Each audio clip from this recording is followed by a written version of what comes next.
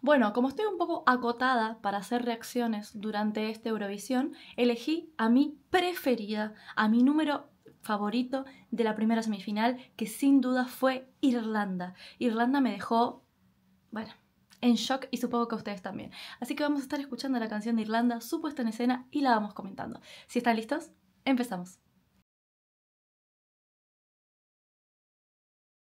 Hay que recalcar el hecho de que la puesta en escena fue hecha por un por un creador español, sí, por un diseñador, supongo, diseñador de puesta en escena. Escenógrafo, ahí está.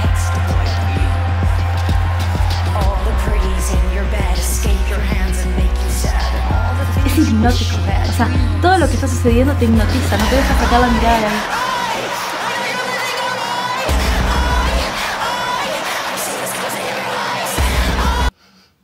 Y yo lo dije en su momento cuando hice em, mi top, y siento que Irlanda destaca mucho por muchas cosas.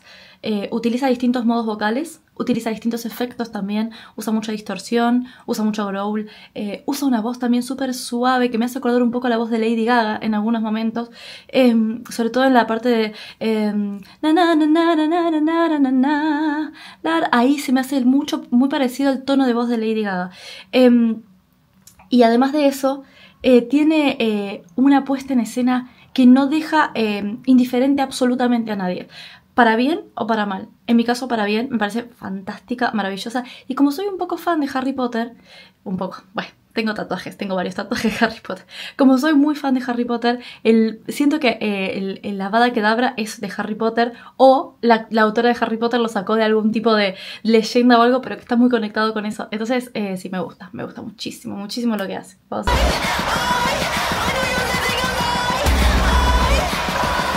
Toda la iluminación, el círculo de velas,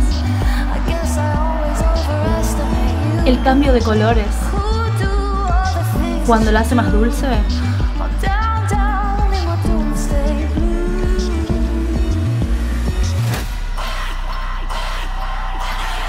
El maquillaje. Pausa. El maquillaje parece que en algunos momentos está poseída. Cuando mira para arriba así, parece que está poseída. Es espectacular. O sea, el ambiente que genera este número no lo generó. O sea, y eso lo puedo decir a ciencia cierta porque estuve en la arena viendo todos los ensayos, el ambiente que genera este número no lo generó absolutamente ningún otro. Por lo menos hasta ahora. Ninguno. Ninguno. Es una locura. No me extrañaría que Irlanda ganara este año. Teatralmente es espectacular. Lo de las velas que se prenden, no, no, no, no.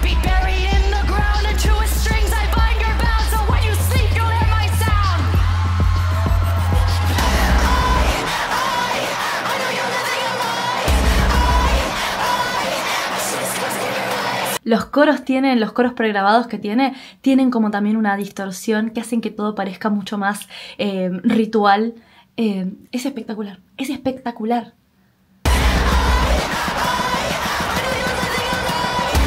Y el bailarín es increíble también. Y son solo ellos dos. Es impresionante.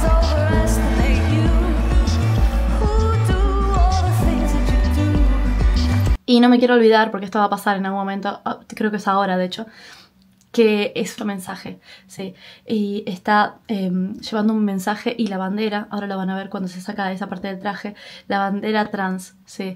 Em, y está súper interesante también porque estamos como viviendo una época de regresión en cuanto a lo que tiene que ver con los derechos adquiridos de muchas cosas, pero en específico de las personas trans.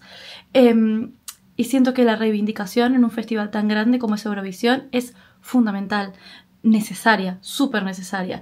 Y que venga Bambi, que encima es no binaria, y traiga esta, esta reivindicación en cuanto al mensaje para que lo vean millones de personas, puff, me parece importantísimo.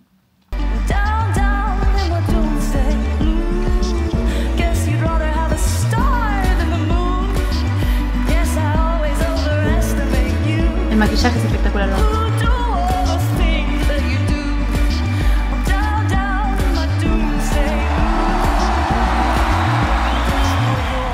Ahí se queda con el traje de la bandera atrás y la gente se, se cae el estadio.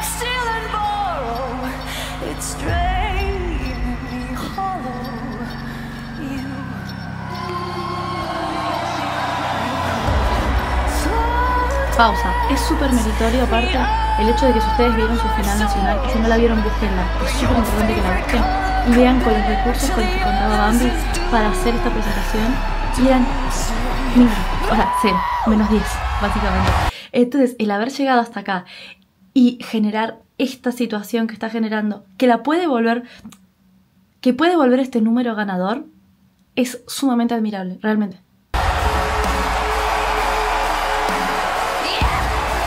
Las velas levitando, no, no, no, qué momento. Es espectacular.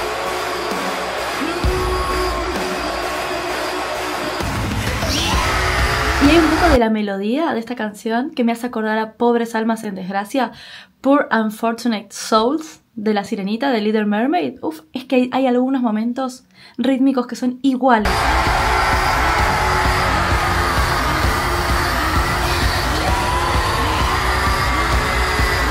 Hipnótica.